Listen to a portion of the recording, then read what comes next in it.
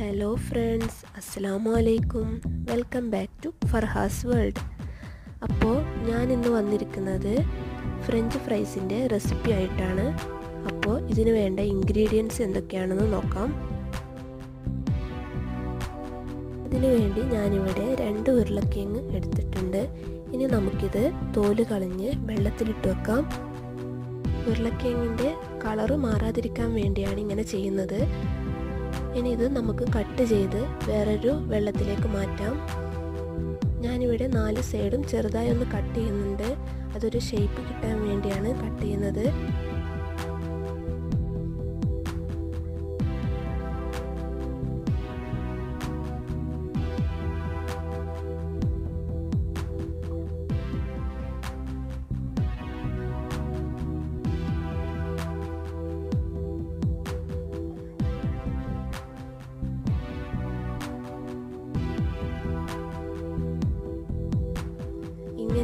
Cut ചെയ്തെടുക്കേണ്ടത്.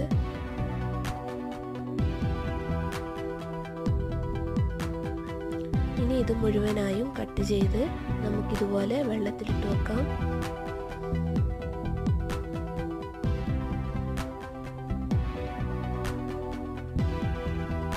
ശേഷം ഒരു പാത്രത്തിൽ ഞാൻ വെള്ളം എടുത്തിട്ടുണ്ട്. അതിലേക്ക് ആവശ്യത്തിന് ഉപ്പ് ചേർത്ത് കൊടുക്കാം. ഇനി ഇത് നമുക്ക് അടുപ്പിലേക്ക് വെക്കാം.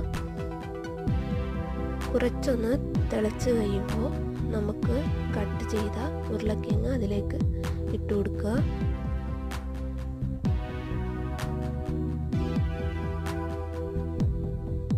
ഇതിന്റെ ഉള്ളൊന്ന് വെന്ത് കിട്ടാൻ വേണ്ടിയാണ് ഇങ്ങനെ ചെയ്യുന്നത്.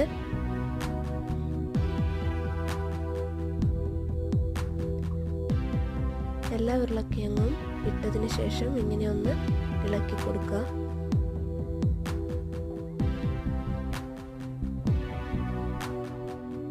രണ്ട് മൂന്ന് മിനിറ്റ് ഇതുപോലെ തിളച്ച് കഴിയുമ്പോൾ നമുക്കിത് അരിപ്പയിലേക്ക് മാറ്റാം.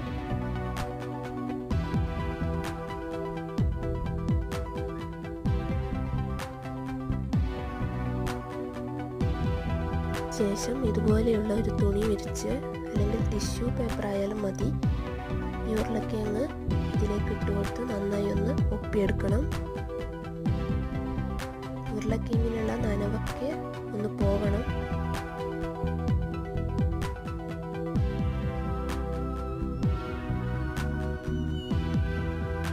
അതുപോലെ തുണി മീത്ത മറിച്ചിട്ട് വെള്ളമൊക്കെ എടുക്കുക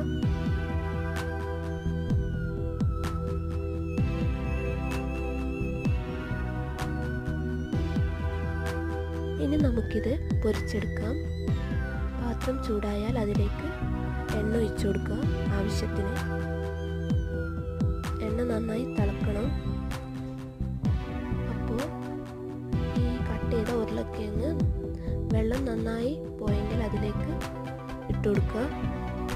ഈ ഒരു പാകമാകുമ്പോൾ നമുക്ക് ഇതെടുത്ത് ഒരു മൂടിയുള്ള ബോക്സിൽ ഇട്ട് ഫ്രീസറിൽ സൂക്ഷിച്ച് പിറ്റേ ദിവസം എടുത്ത് പൊരിച്ചാൽ നല്ല ക്രിസ്പി ആയിട്ടുണ്ടാകും. കളർ മാറിക്കൊണ്ടുണ്ട്. ഏകദേശം കളർ മാറിയിട്ടുണ്ട്. അപ്പോൾ നമ്മുടെ ഫ്രഞ്ച് ഫ്രൈസ് ഇവിടെ റെഡി ആയിട്ടുണ്ട്.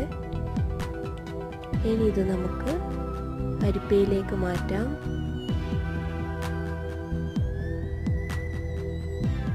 ശേഷം ഒരു പാത്രത്തിലേക്ക് സെർവ് ചെയ്യാം.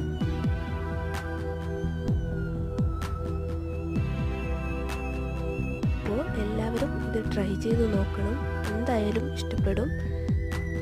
വേണമെങ്കിൽ ഇതിലേക്ക് മുളക് പൊടിയും കുറച്ച് ഉപ്പും ഇട്ട് നിങ്ങൾക്ക് മിക്സ് ചെയ്ത് കഴിക്കാം. ഇതിപ്പോൾ ഞാൻ എന്റെ മോൾക്കാക്കിയത് കൊണ്ടാണ് ഞാനൊന്നും ചേർക്കാത്തത്.